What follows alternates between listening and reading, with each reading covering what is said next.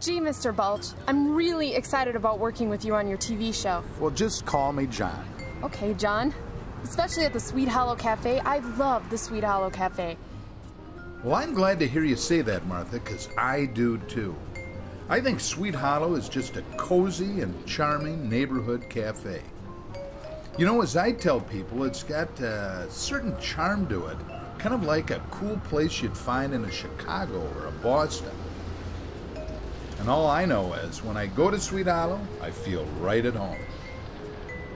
And besides their handcrafted coffee, which is spectacular, did you know, Martha, that all the food served there is made from scratch? And boy, can you tell. You know, like their quiche, which is, in my experience, the most delicious quiche I've ever tasted.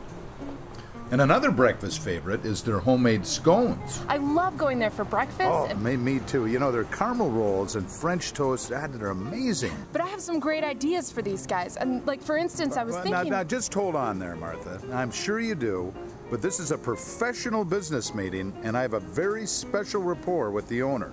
Now, your job is to watch and learn. Yes, sir.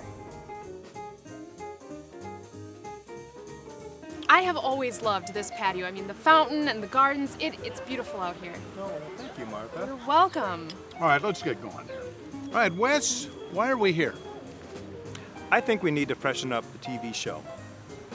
About the caramel rolls? No, no, no, no, no. Something new. Well, if we don't talk about the rolls, how about the French toast? Well, I just think you've already won so many awards for your breakfast. So, so what you need to talk about is your wonderful food that you have for lunch.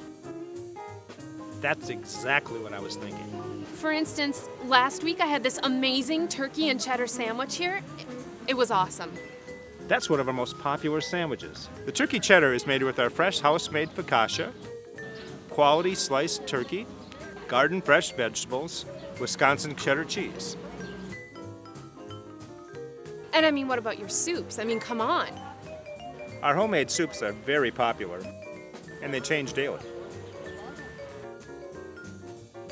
One of my favorite items, Martha, are our homemade tarts. Those are great. They're made with puff pastry, fresh fruits, and a wonderful cream cheese.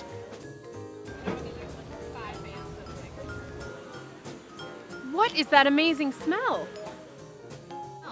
Well, that's our smoker. Really? We smoke all our own meats. Awesome. Today's special is a delicious pulled pork sandwich made with our homemade barbecue sauce on a fresh ciabatta roll. What I think is that people need to know about your specials. They need to know that they can sign up for your Facebook page and that they can get on your Twitter account so they can get tweets when you have specials. All right, I think we got enough to work with. Okay, Wes, we'll give you a call.